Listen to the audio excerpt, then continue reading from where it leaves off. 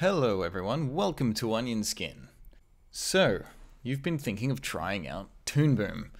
Perhaps you're new to animating digitally or just looking for new software.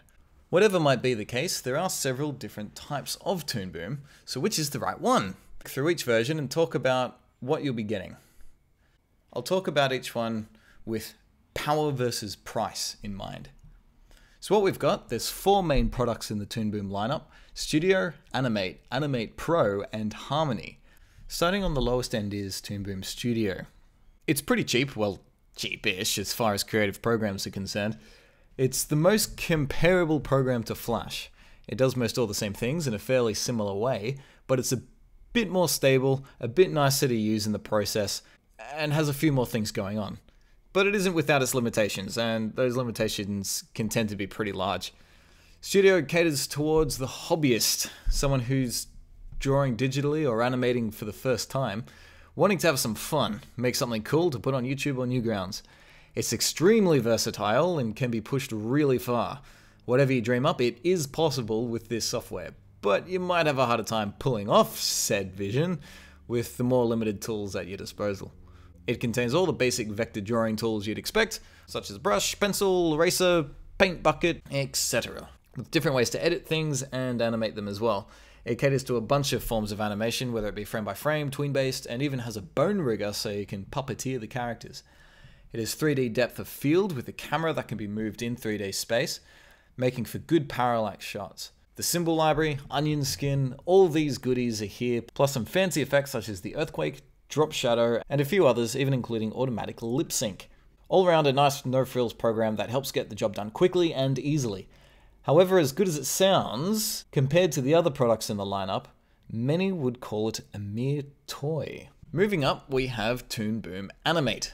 It has a substantial price difference, and what you get for that is a new interface.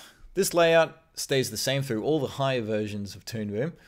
It simply adds more functions, panels, buttons, and stuff. All the features in Studio return presented in a much more streamlined and intuitive way, I'd recommend this to those who have experience drawing digitally but are new to the animating scene. It has a lot more functions that you'd be used to seeing to help make life easier. Most tools have several sub options added. Take the brush for example, which gains the ability to paint behind, flatten with other vectors, etc. The additions are small but many, and it makes a considerable difference to your workflow. My problem with this program, however, is the power to price isn't that great. I personally think that if you're going to be animating casually, you might as well just save the money and go with Studio. But if you're willing to fork out a bit extra for something really good, it isn't a whole lot more to get Animate Pro, where the features leap ahead. This is Animate Pro and it is incredible. The one I personally recommend. It's a lot more expensive, especially compared to Studio, but one can make a living using this software, and many do. So if that's your goal, it's definitely worth considering. Many animation studios are switching to Animate Pro and Harmony, so having the experience using this software will give you a good leg up compared to those who are only used to using Flash. Additions to Animate Pro include a few more buttons and various tools all over the program, other little tricks that make life easier, like what Animate did, but the first big innovation is True 3D.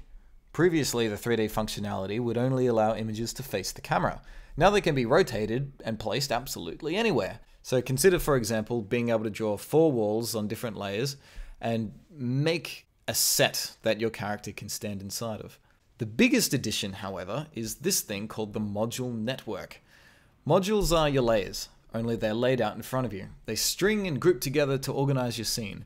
This is used for compositing and effects. It's an incredibly powerful tool to be able to add glows, masks, refractions, and a huge amount of filters and other controls that can be combined and mixed seamlessly into your raw animations. So have a think about what style you want to use. I personally can't live without this thing, which is why I rate it so highly. But it may be wiser to start with Animate and upgrade later if you're feeling restricted.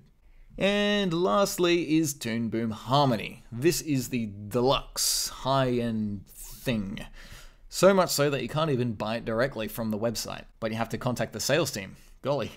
Harmony is targeted towards professionals and studios. Many television shows and feature films today are made using Harmony, and a lot of its features are focused around a bunch of people working together that have access to the same network of files, and carrying a large project through many steps of production.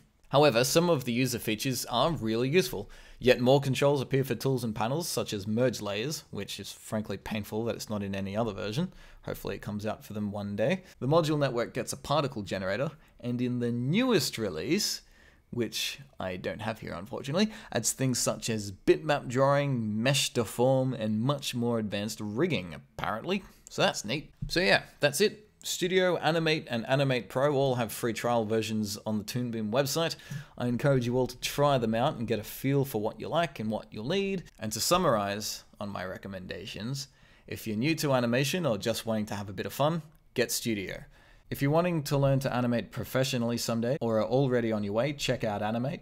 If you're already earning an income or an experienced animator and you've been doing this for a few years, definitely go with Animate Pro. And finally, Harmony, if you're an experienced professional or you're a head of studio thinking of upgrading your team, contact Toon Boom and I suppose they'll help you out. I don't know. Remember, whatever you get, you can upgrade later. So that's my rundown. I hope you got something out of it. If you have any questions or concerns, please leave a comment. New videos here at Onion Skin every week, so I'll do whatever I can to help you out. Bye bye!